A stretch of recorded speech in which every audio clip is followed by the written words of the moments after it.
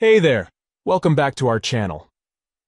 Today we have a helpful guide for you on how to disable vibration while receiving a call in Messenger.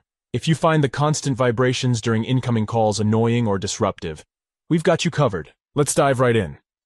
First things first, if you haven't already downloaded the Messenger app, head over to the Play Store on your Android device. In the search bar, type Facebook Messenger. Look for the chat bubble icon with a sideways lightning bolt and a gradient between purple and blue. Tap on it, then tap on Install to download and install the app. Once you've signed into the Messenger app, it's time to disable the vibration during incoming calls.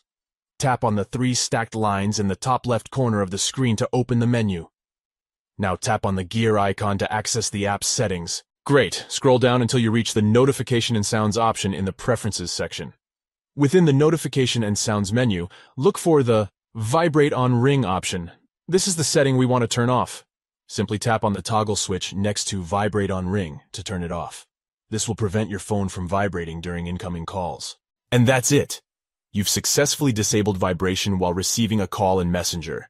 Enjoy a more peaceful and uninterrupted calling experience. Now, let's quickly recap the steps to make sure you've got it down. Step 1. Download and install the Messenger app from the Play Store if you haven't already. Step 2. Open the Messenger app and sign in with your Facebook account. Step 3. Tap on the three stacked lines in the top left corner to open the menu. Step 4. Tap on the gear icon to access the app's settings. Step 5. Scroll down and find the Notification and Sounds option.